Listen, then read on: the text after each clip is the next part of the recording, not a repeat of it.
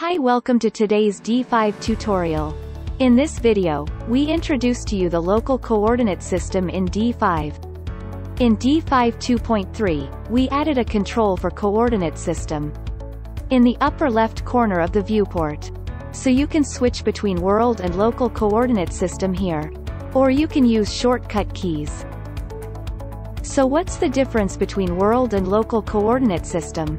As you can see, with default world coordinate system, the orientations of a model's three axes are fixed, despite its rotation.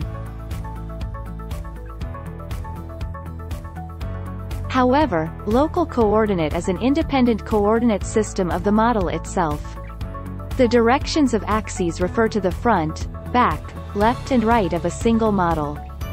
Thus will change as you rotate the model. Also, please note that the local, world coordinate system is a global setting. So when you switch between them, change of coordinate system will apply to all the models in the scene. You can set the coordinate system as you like, for different scenes and scenarios. Here we'll cover a few cases, where local coordinate system can be of help. For example, here I place a light, and rotate it to a particular angle. If I want more of such lights into the scene, then switching to local coordinate system will make it faster and easier. In a word, local coordinate system is recommended for bulk placement of objects that have been rotated to gain a different coordinate system orientation. You can easily drag the model along the axes, without manual adjustment to get the right angle. Local coordinate system also works better when you have to place objects onto a slope.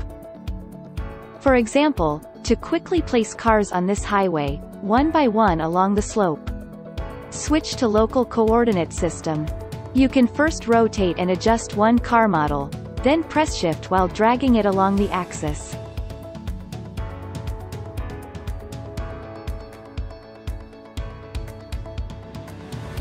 With the option of local coordinate system, making animation of circle spinning is made much easier, because unlike world coordinate system, there won't be restrictions on rotation angle, if you're using local coordinate system. This helps a lot when making animated Ferris wheel, or clock hand. That completes the tutorial for local coordinate system. You can download the demo scenes on D5 Forum, Scene Express. To learn more about D5 Render, Visit our official website d5render.com.